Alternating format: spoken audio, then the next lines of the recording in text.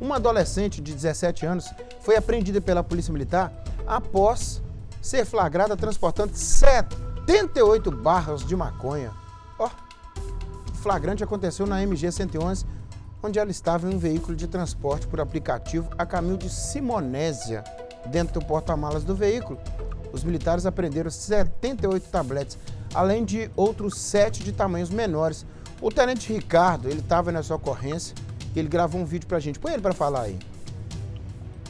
Procedeu a abordagem a um veículo é, Chevrolet Onix de cor branca e durante a abordagem foi localizado 78 barras de substância semelhante à maconha e mais sete pedaços menores da mesma substância.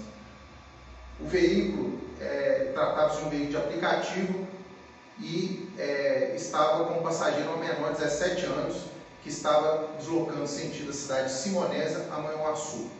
A menor foi apreendida em flagrante e conduzida aí por ato infracional análogo a tráfico de drogas.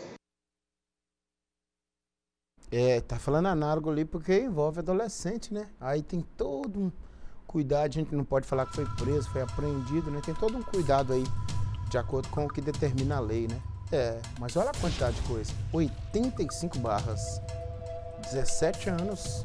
Já tá fichada com esse, com esse BOzão aí, né?